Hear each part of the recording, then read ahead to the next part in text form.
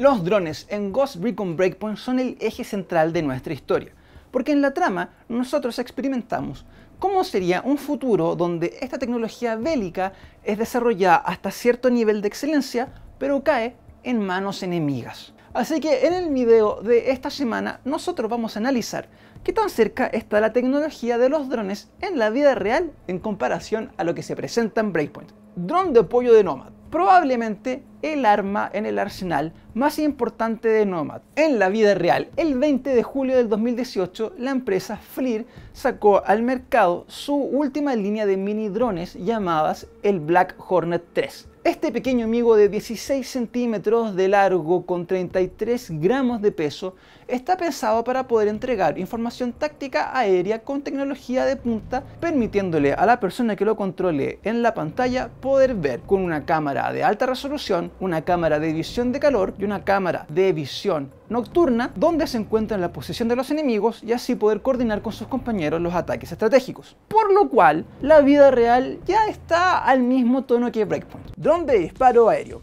¿Quién no quiere tener un dron que pueda disparar? Si tu respuesta es el gobierno, estás en lo cierto porque en Estados Unidos existe una ley que prohíbe el desarrollo de drones voladores con armas. Aún así, el 8 de agosto del 2017, Duke Robotics sacó el TICAD. El TICAD promete poder ser configurado con diferentes tipos de armas de asalto y el dron debería tener la capacidad de poder compensar la fuerza del disparo y de esa forma reapuntar y recargar de forma rápida y continuar con el asalto. No hay mucha información extra, por lo cual no sé cuál es el real tamaño de este dron, pero podemos compararlo con respecto a su competencia china, el Blowfish A2. Este dron de 62 centímetros de largo es capaz de ser personalizado o con bombas o con una AK-47. Y en video ya ha demostrado tener la estabilidad suficiente para sostener el disparo de una semiautomática de forma continua. Y comparándolo con la realidad del juego, especialmente con el dron de tiro sincronizado de Nomad, que es como del tamaño de la palma de su mano, podemos decir que la tecnología de drones aéreos que disparan al menos no está tan cerca como la tecnología anterior. Dron de ataque terrestre. El problema es que en la vida real todavía no se crea la inteligencia artificial que permita que los drones puedan moverse de forma 100% independiente. Por lo cual Toda la información que encontré en realidad son vehículos a control remoto. Aún así, Milren Robotics tiene lo que ellos describen como el estándar de los drones de soporte terrestre. El Temis es un vehículo altamente personalizable que dentro de sus configuraciones también tiene armas de asalto, una velocidad máxima de 25 km por hora. Considerando su velocidad máxima y su tamaño, puedo decir que están bastante lejos de los vehículos que vemos en Breakpoint como el Behemoth, dron de enjambre. Por último, uno de los enemigos más incómodos y molestos dentro de Breakpoint, los drones de enjambre son pequeños y ágiles y su misión es atacar en conjunto y así hacerte la vida imposible. El desafío acá es poder controlar a cada dron de forma independiente y asegurar que ninguno de ellos interrumpa el desplazamiento de los otros. Y en la vida real, lo más cercano que pude encontrar fue un video exploratorio del Centro de Investigaciones de la Marina de los Estados Unidos con un proyecto llamado el Locust. El Locust indica que pueden lanzar hasta el máximo de 30 drones que pueden trabajar de forma independiente en un ataque en conjunto. Este video es la única pieza de información que tengo, por lo cual yo no sé cómo está esa tecnología o qué tan cerca está de poder generar algo como lo que podemos ver en Breakpoint.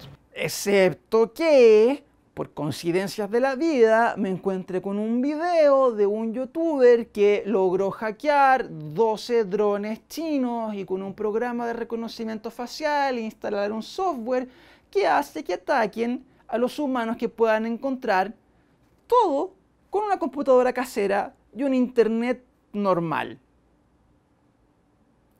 Oh por Dios, tengo un video que muestra. Él es Michael Reeves y en este video podemos ver cómo él logra hackear 12 drones de bajo presupuesto integrándoles un programa de reconocimiento facial y instrucciones de atacar cada vez que logren reconocer un humano. No te voy a decir exactamente cómo lo hizo porque creo que es un video que tienes que ir a ver, pero te puedo adelantar que el resultado final es interesante, aunque no tan letal excepto que son 12 drones extremadamente baratos, con un internet de bajo presupuesto y un computador normal. Pero si aún quieres experimentar cómo sería vivir una realidad donde los drones asesinos puedan ser manipulados y controlados por cualquier persona, siempre puedes jugar Breakpoint o, o puedes acompañarme a mí los miércoles en Facebook en Ubi Live cuando yo, junto con la comunidad de gente de Ubisoft Latinoamérica, nos juntamos a jugar juegos y a pasarlo bien. Pero además, a partir de esta semana, también integraremos a YouTube dentro de nuestras lives, así que también puedes encontrarme aquí el miércoles en la noche durante esta semana mientras juguemos Breakpoint. Así que acompáñenos, te prometo que la gran parte del tiempo lo pasamos súper bien. Pero sin nada más que decir, excepto temo por mi integridad física ahora que investigué sobre estos drones asesinos, mi nombre es Cristian Rojas y si los drones no me matan, te veo la próxima semana. En verdad podremos morir en cualquier momento